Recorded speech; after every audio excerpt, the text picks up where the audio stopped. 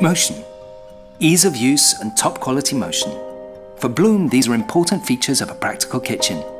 All motions should be light and comfortable. So what's important here? Design and surface finishes are not the only things that make a kitchen enjoyable to be in.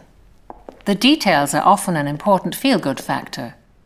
The way in which furniture can be opened and closed. There's motion, and then there's motion. And what do you mean by that? Pull-outs, for example, are opened a lot every day. Normally they're heavily laden. So it's really important that they're stable and have a feather-like glide.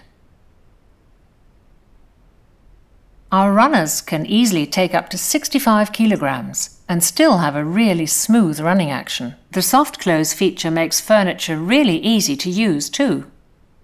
For many it's already a standard feature of kitchens.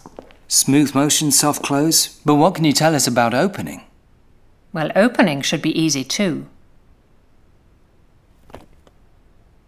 Just touch the front, anywhere. Uh-huh. That's great. This is our servo drive electric opening system. Pull-outs just glide open at a single touch. It's also available for lift systems. Even heavy fronts open with ease, and they close again at the press of a switch.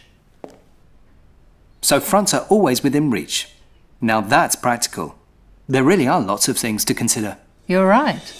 And that's why we recommend you try out the feel of your furniture when you buy a new kitchen. Open, close, slide, then decide. Be open to new technologies which bring enhanced user convenience. And most important of all, make your choice according to what feels best to you.